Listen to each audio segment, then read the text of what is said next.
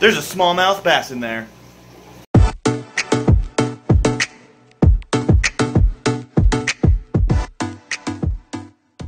Hello, YouTube. SC Fish Keeping here coming to you today with a video that I am very, very excited to be able to share with you. Today, we're diving into the pond.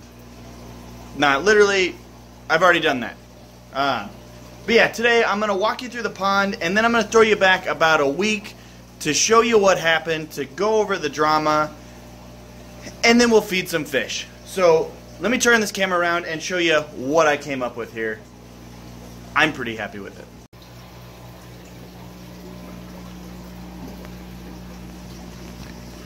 So there you guys go with the dramatic reveal. The 500 gallon indoor pool pond is done.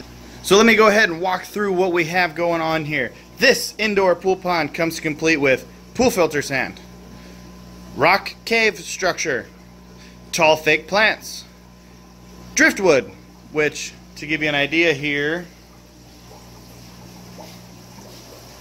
this is one big piece of driftwood here that sticks up like that, and then a floating log providing ample cover for that fish.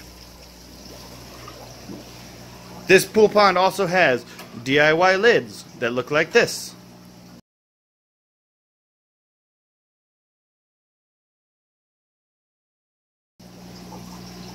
A 3100 gallon per hour pump pumps the water up, over, up, and then it drains it down through a laundry basket with polyfill, sponges, there's lava rocks in the bottom, the water fills up, it drains out, and it dumps back into the pool, nice, clean, and fresh. Beauty of this pool pond is the smallmouth bass do like a little colder temperature than any of my tropical fish, so I do not have to have heaters. The concrete floor actually keeps the pool a little colder, so this water right now is running about 68, 69 degrees, which is perfect for smallmouth bass, which I have two of. So there it is, guys. That is the reveal of the massive 500 gallon indoor pool pond smallmouth bass tank, whatever you want to call it. I call it super exciting. I'm thrilled. I love the way it came out. But tell me what you guys think drop a comment. Let me know if you like the way I have the pond set up. Would you have done something a little differently? Let me know. I, I really enjoy getting your comments and your thoughts, so tell me down below what you think. In the beginning of this video, I mentioned that this pool does come with a little bit of drama. It leaked when I set it up and I had to patch it. That was no big deal. The drama actually came in the fish.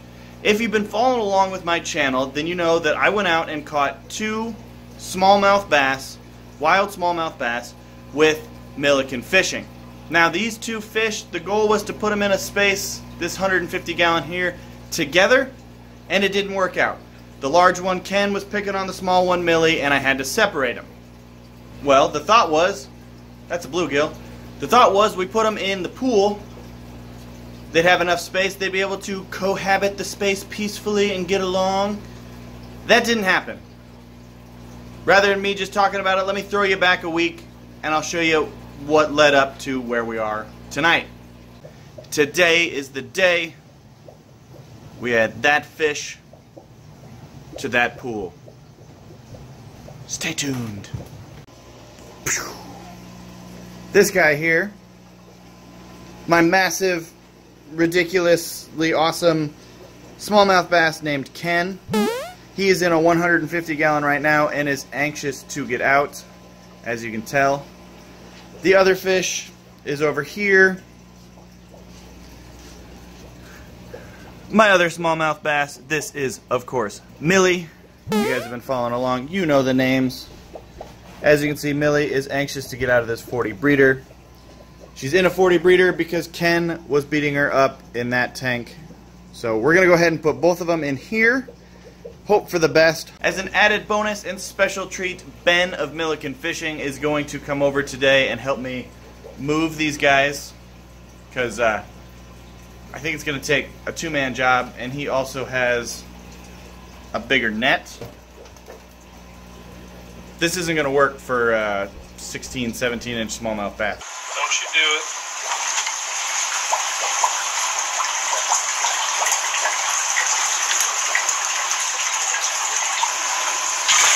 Oh, she got me that time. Got her. All right. There you go. New bigger home. Think she likes it? Just don't let that crawdad pinch my hand. From the inside. Ah. Don't want to get your camera wet because I have a feeling there will be splashing. Oh, It probably won't be terrible if it does. Don't jump out.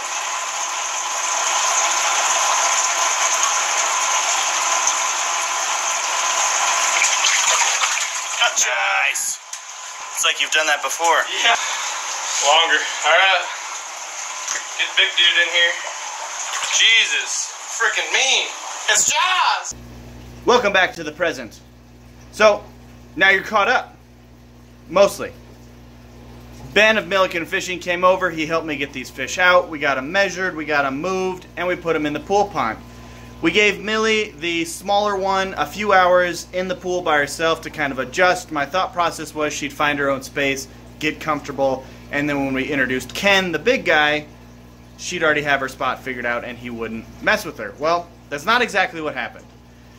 When we first got them in there, they got really stressed, their colors get really dark, and I just assumed that that meant they were adjusting to the new space, as you see here.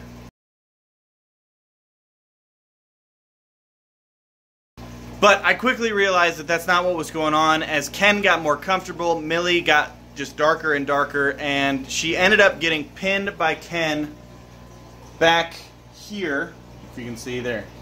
Back there, behind that little plastic tub.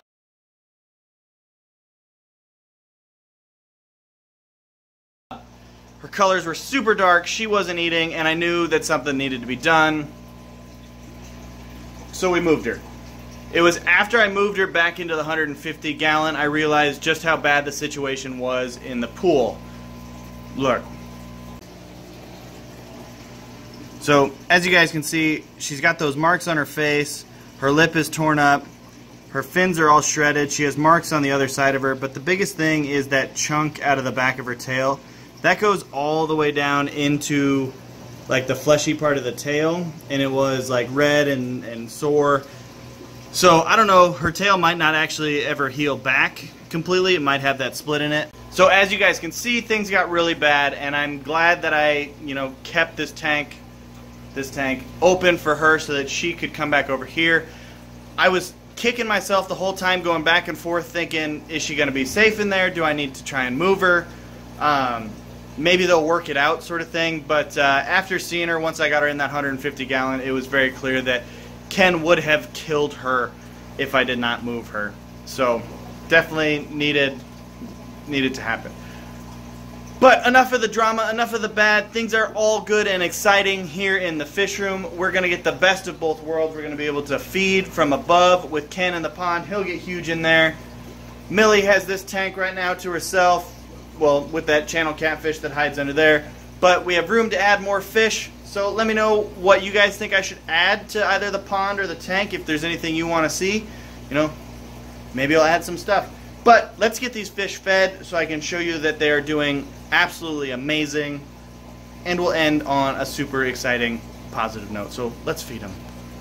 So this is actually the first time I've ever tried to feed him on camera in this pond. So you can see him kind of tucked up under that log there. But let's see if he'll come out and uh, grab a goldfish. Well, bluegill's interested. Maybe we'll get the bluegill eating.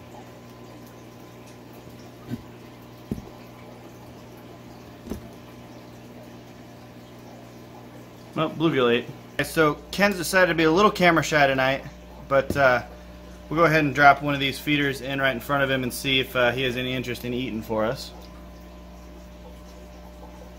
Alright, that was a bad throw.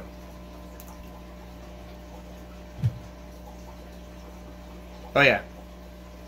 He's hungry. Ken's just gonna hide out in that like super tiny cave there. But uh, now guys we have a, uh, a goldfish pool pond. So there you go. Let's go see Millie eat because she is still my good eater.